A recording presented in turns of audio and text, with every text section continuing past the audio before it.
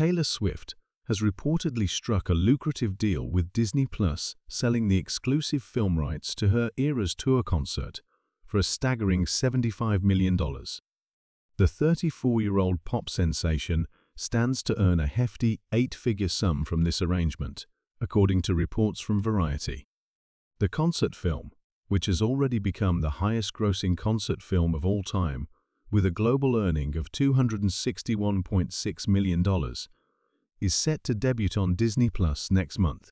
In addition to the original content, the Disney Plus version of the film will feature five additional songs not previously included in theatrical releases or past digital versions. Taylor Nation, Swift's official team, made the announcement on XA, formerly known as Twitter, revealing that viewers can expect to enjoy the full concert experience, including tracks like Cardigan and four other songs from the acoustic section. Disney CEO Bob Iger praised Swift's tour as a true phenomenon that continues to captivate audiences worldwide, expressing excitement about bringing the electrifying concert to Disney Plus subscribers. Although the specific additional tracks have not been disclosed, it's speculated that they will be from the shows filmed at SoFi Stadium in Los Angeles. Potential contenders include hits like Nobody, No Crime featuring the Haim sisters, I Can See You, You Are in Love, and Death by a Thousand Cuts.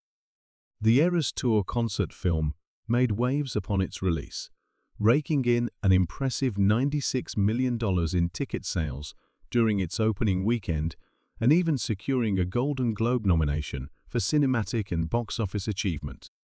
Swift, ahead of her 34th birthday, delighted fans by announcing the availability of the extended version of the film, which includes additional tracks like Wildest Dreams, The Archer, and Long Live.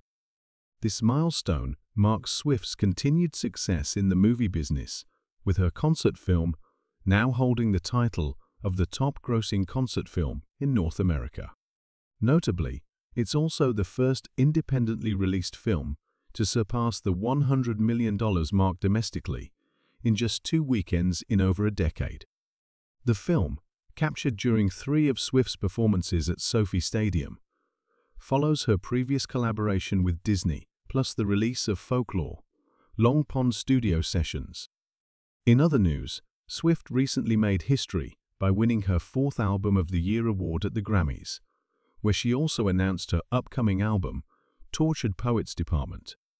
Meanwhile, Disney Plus subscribers may have noticed a price increase, with the ad-free subscription now costing $13.99 per month, up from $10.99.